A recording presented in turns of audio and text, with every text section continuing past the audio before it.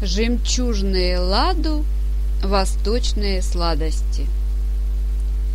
Ингредиенты для теста. Гороховая мука 1 стакан. Вода 4 стакана. Шафран, щепотка. Кардамон молотый по вкусу. Куркума 1 столовая ложка. Финики 50 грамм.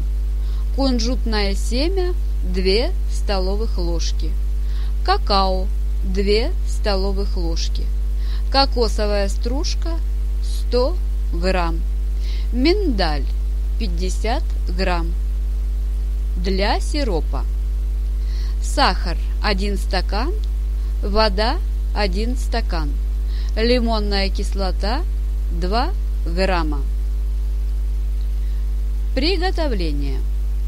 Муку просеять, добавить шафран, воду, хорошо смешать. Должна получиться консистенция чуть гуще, чем на блины. Застелить противень пергаментом, залить тесто равномерным коржом. Запекать при 180 градусах 3-5 минут. Тем временем сварить сироп.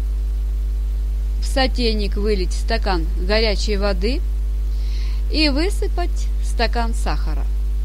Поставить на медленный огонь. Как только сахар полностью растворится, добавить лимонную кислоту и накрыть крышкой. Варить сироп до загустения. Разрезать корж на три равные части. Смазать сиропом. Измельчить миндаль и финики в комбайне. Пропитанные три части коржей разломать и поместить в комбайн на измельчение. Одна часть коржа смешивается с куркумой и фиником. Вторая часть с кунжутом и какао. Третья часть с кокосовой стружкой и миндалем. Сформировать шарики из полученных перетертых масс. Приятного аппетита!